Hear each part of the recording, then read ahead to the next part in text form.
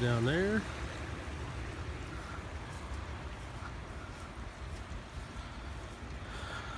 Goes down under the grass.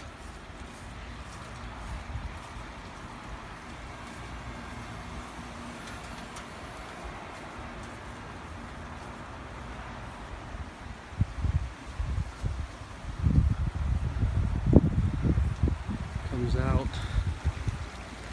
of a pipe right here.